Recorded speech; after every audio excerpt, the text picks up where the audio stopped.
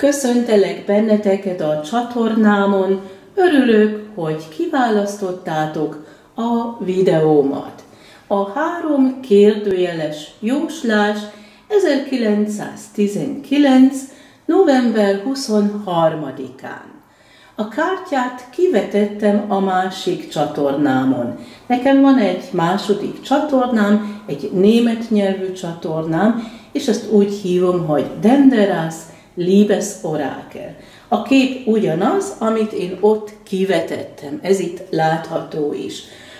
Az első kérdés az lenne, mi foglalkoztatja őt, mik a gondolatai, és ez a kártya megadja rá a választ. Az érmék az ő anyagi dolgait és az ő munkahelyét mutatja.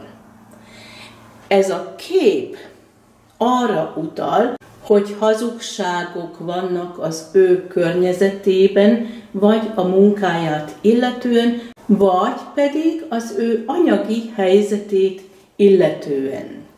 A második kérdés az volt, hogy milyen az ő érzelmi világa. Ő megpróbálja megtartani a nyugalmát.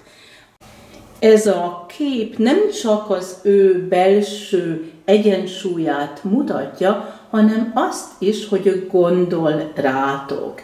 És neki ez egy olyan megnyugtató érzés. Jön is egy közeledés, és erre utal ez a harmadik kártya. A kérdés az volt, milyen lépéseket tesz irányotokba.